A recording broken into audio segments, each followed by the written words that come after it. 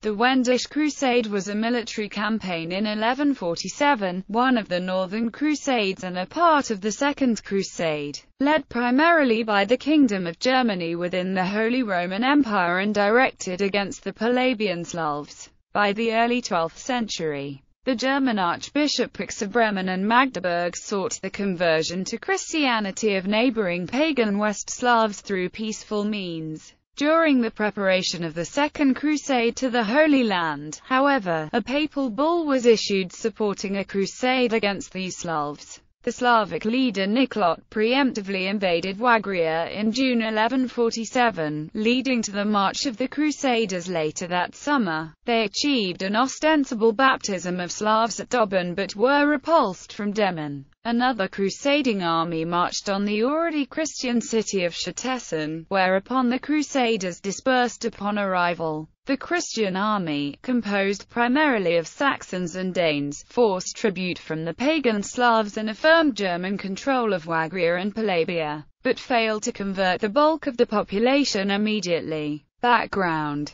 the Ottonian dynasty supported eastward expansion of the Holy Roman Empire towards Wendish lands during the 10th century. The campaigns of King Henry the Fowler and Emperor Otto the Great led to the introduction of burgwards to protect German conquests in the lands of the Sorbs. Otto's lieutenants, Margraves Gero and Hermann Billung, advanced eastward and northward respectively to claim tribute from conquered Slavs. Bishoprics were established at Meissen, Brandenburg, Havelberg, and Oldenburg to administer the territory. A Great Slavic rebellion in 983 reversed the initial German gains, however. While the Burgwards allowed the Saxons to retain control of Meissen, they lost Brandenburg and Havelberg. The Elbe River thus became the eastern limit of German-Roman control. By the early 12th century, the archbishoprics of Bremen, Magdeburg and Jesna sought the conversion of the pagan Slavs to Christianity through peaceful means.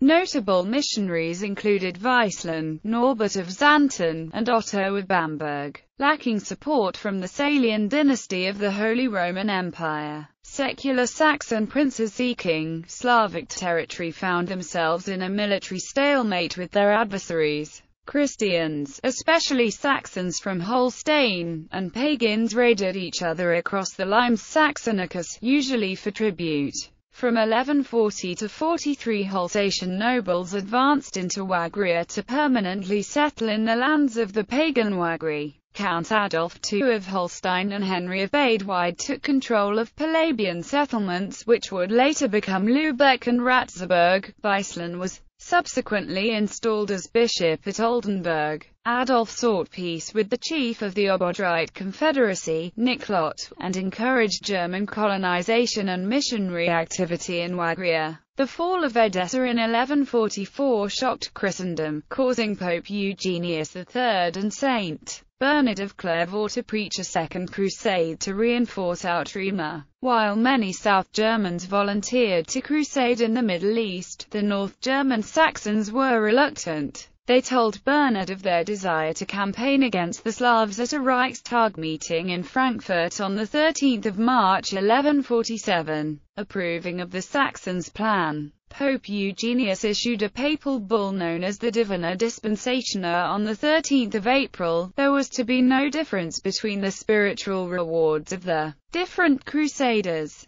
Those who volunteered to crusade against the Slavs were primarily Danes, Saxons, and Poles, although there were also some Bohemians. The German monarchy took no part in the crusade, which was led by Saxon families such as the Ascanians, Wettin, and Schauenburgers. Papal legate Anselm of Havelberg was placed in overall command. Holy War. Upset at Adolf's participation in the crusade, Niklot preemptively invaded Wagria in June 1147, leading to the march of the Crusaders in late summer 1147. After expelling the Obodrites from his territory, Adolf signed a peace treaty with Niklot. The remaining Christian crusaders targeted the Obodrite Fort Dobin and the Liutizian Fort Zemun. The forces attacking Dobin included those of the Danes Canute V and Sweyn III, Archbishop Adalbert II of Bremen, and Duke Henry the Lion of Saxony. Avoiding pitched battles, Niklot ably defended the marshland of Dobin. One army of Danes was defeated by Slavs from Dobin, while another had to defend the Danish fleet from Niklot's allies, the Rani of Rügen. Henry and Adalbert maintained the siege of Dobin after the retreat of the Danes. When some crusaders advocated ravaging the countryside, others objected by asking, is not the land we are devastating our land, and the people we are fighting are people? The Saxon army under Henry the Lion withdrew after Niklot agreed to have Dobin's garrison undergo baptism. The Saxon army directed against Demmin was led by several bishops, including those of Mainz, Halberstadt, Munster, Merseburg, Brandenburg, Olmütz, and Bishop Anselm of Havelberg, while their stated goal was to achieve the conversion of the pagans. Most also sought additional territory and tithe for their dioceses. Abbot Wibald of Corvey went in the hopes of acquiring the island of Rügen. The Demmin campaign also included the secular margraves Conrad I and Albert the Bear, who hoped to expand their marches. A royal Polish contingent wanted to add to the bishopric of Lebus.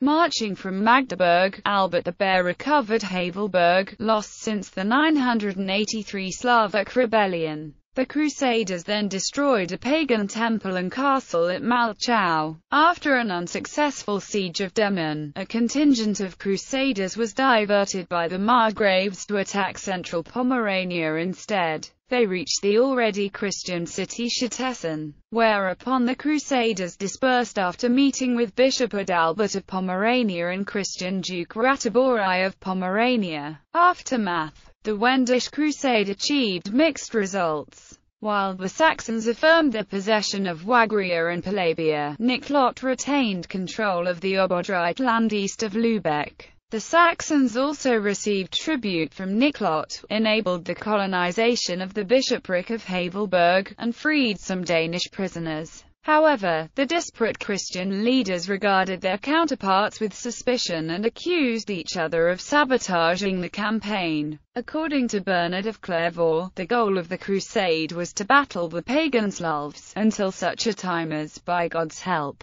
they shall either be converted or deleted.